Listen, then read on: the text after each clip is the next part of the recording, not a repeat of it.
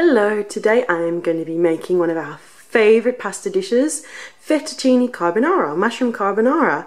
Um, I've got fettuccine over there, but you can use any pasta that you like with this recipe. You could use gluten-free pasta if you're gluten-free or even that trendy spiralized zucchini pasta or really any any pasta you like. It's all about the mushrooms and the sauce and the parmesan. Okay, first of all we are going to chop up these mushrooms and the onion and fry them in a bit of butter and then also what we can do is beat together these eggs and mix them with the parmesan. Meanwhile, we'll be cooking the pasta and um, then we'll put it all together. I'm going to show you how to do it.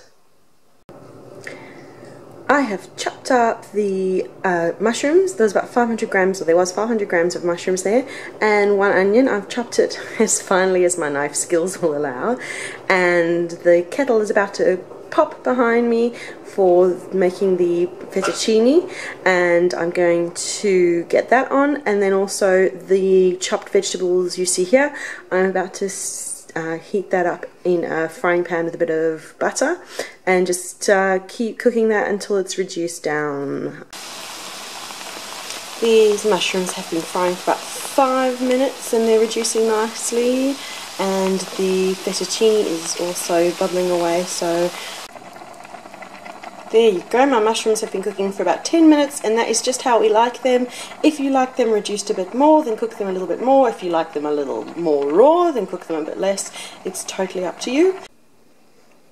My mushrooms are cooked, the fettuccine is cooked, it's all in my pot together. I drained, steamy, steamy. I drained the uh, fettuccine, but um, and reserved a half a cup of the cooking liquid just in case we need it later. Um, you drain it and you don't cool. You don't drain it, but don't cool down the fettuccine. You want the heat to um, gently cook the eggs that we're about to add. So let's do that. May need two hands. let's see how we go. Okay, so we add all of that. Oh, grab my spoon out in a sec. So we're going to add that and we're going to mix it.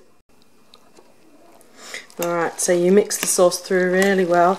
You don't want the eggs to scramble, but you do want them to kind of cook. Oh, it likes to get steamy, this camera. I need to hold back a bit, don't I? Um, and if you like, you can add a little bit of your reserved water if you want to make a little more saucier, oh, we like we like to be able to taste the egg and the parmesan. Oh, look at that. It smells so good. Oh, I just love parmigiano. Okay. And there you go. The fettuccine, the mushroom carbonara is all ready for dinner. It tastes absolutely delicious. And that is the recipe for today. Thanks so much for watching.